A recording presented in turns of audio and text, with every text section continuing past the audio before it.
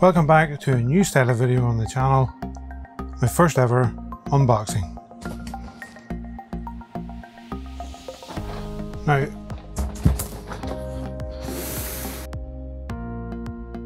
I had a knock on the door today and got this. Turns out it was brought to me to test, so I just thought I would show it off and see what came in the package.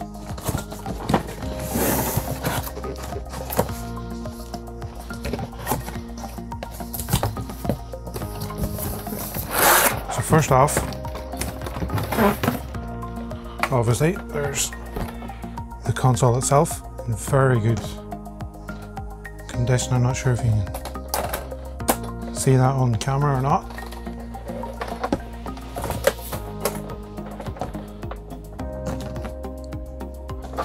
And it came with a game inside it, Burnin' Rubber. Now this isn't a console I ever had a chance to play growing up, so this is all new to me. So we'll set that to the side. And next in the box was this nice triple collection. There on the back it's got a bit of information about all the games. So we open it up. Now, I'm assuming this was standard for the big box games because a few of them here have, have this in it. And there's the three cassettes and then the manuals for each. Again, very, very good condition. And, oh, Terminator is more like a poster style. It's got like a rose gold kind of tint to it. Pretty cool. Okay, so set that to the side. And next, it's just wrapped in a plastic bag. Oh. Course wreck, please.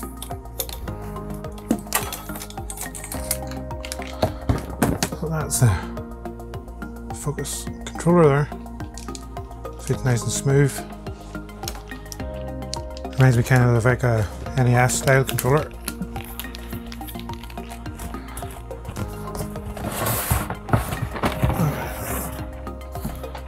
Well, this next, but we'll leave that because we have one more big box game here.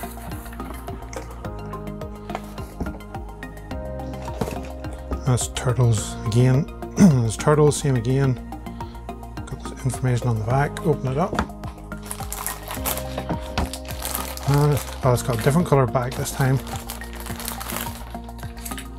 And there's the cassette. Nothing, nothing on the back side of it there. And there's a wee instruction manual. Not sure what them pages are for.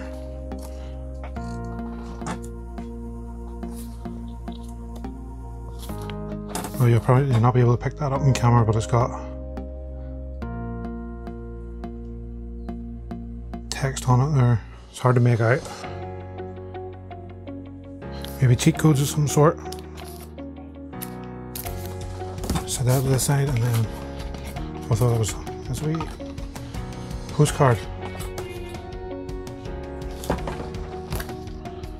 Cool.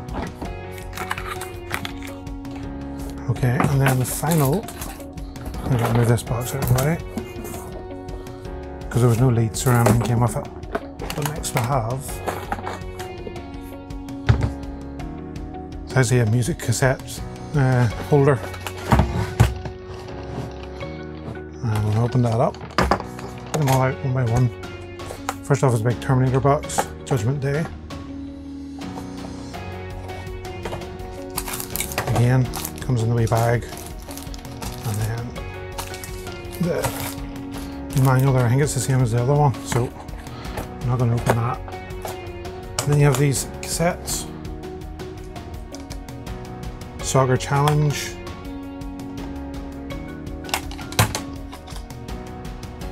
Dragons of Flame.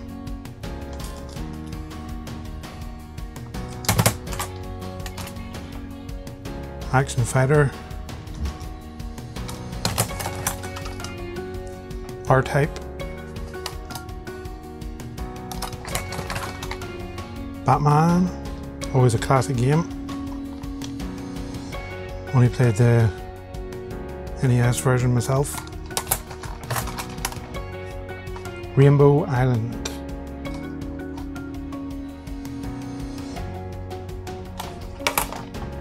Again, again, these are all very good condition. There's controls and stuff on the inside. I suppose that was their way of giving you a manual without taking up too much space. Next up we have Narc. So I'm assuming is a shooting game or fighting game. Yeah, the best shoot 'em up on the market. Well, according to Sinclair User 87 anyway. The Last Commando. Very cool. I have two there I'm going to keep to last for... Oh, there's a 4 in 1. Didn't know you could get these. It's got Tarzan, Tobbers, Spindizzy and Confusion. There's an image for each of them on the back cool. This one, SAS Assault Course. Suggested 299 retail. Wonder what they'll go for now. Next up, Turbo Chopper. Cover kind of reminds me of Desert Strike series, but obviously the images on the back look nothing like that. Was a helicopter combat game anyway. Pretty cool. Uh, next up, we have Platoon. So based on this on the based on the movie, I'm sure. Looks pretty cool. Next up is The Way of the Tiger Avenger. Avenger, an excellent game that will keep you enticed for hours. Looks pretty cool.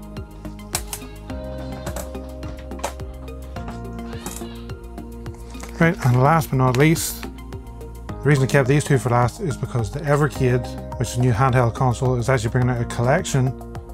I think there's going to be seven games, seven of the Dizzy games in total on it. So I thought I'd leave these two for last. It's two Dizzy games. There's Magicland Dizzy, Magicland Dizzy, and Dizzy Down the Rapids. So it's not a series I've actually played, but I've heard very good things about it. I'm looking forward to trying it on the Evercade when they release it later in the year. Hope you enjoyed this sort of trip down memory lane. And my first ever look at an Amstrad because I missed out on that generation of Amstrad, Commodore, Spectrum, all those sort of home computers. So I hope you enjoyed, and as always, happy gaming.